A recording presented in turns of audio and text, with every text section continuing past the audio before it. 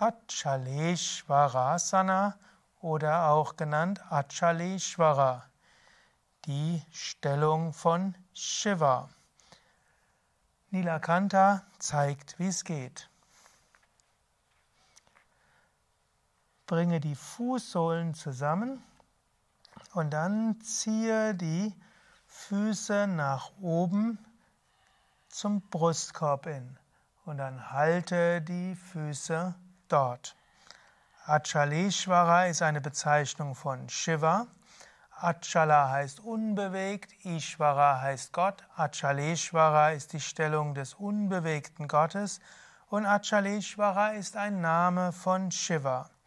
Achaleshvara ist aber auch die Bezeichnung oder der Name einer der 84 Naht Siddhas, nach denen die Asanas benannt sind.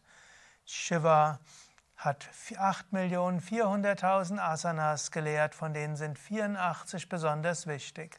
Es gibt in verschiedenen Hatha-Yoga-Traditionen unterschiedliche Asanas, die als die 84 Hauptasanas bezeichnet werden.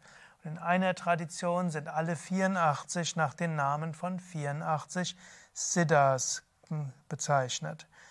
Achaleshvara bzw. Achaleshvarasana ist ein Gleichgewichtsasana, das gleichzeitig Hüften- und Knieflexibilität entwickelt.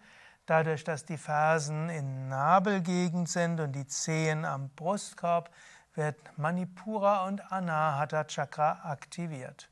Mehr Infos zu diesem und anderen Asanas auf wiki.yoga-vidya.de